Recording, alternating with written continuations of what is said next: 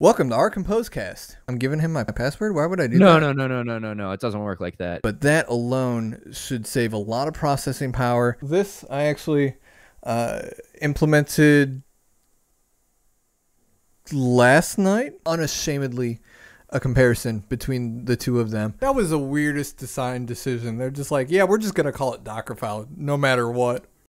This is Docker, and we're gonna call it Dockerfile. Little bit of, of commands in there in a shell script. Yeah, exactly. Just kind of squeezing it right in there. Oh, it's so nice. I'll tell you what. Yeah. Rails deploys are a nightmare. But you'd hit the site, and none of the like pictures wouldn't render.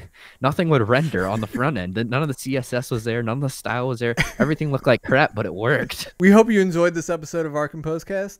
Thank you. Be safe, and we'll see you all in two weeks.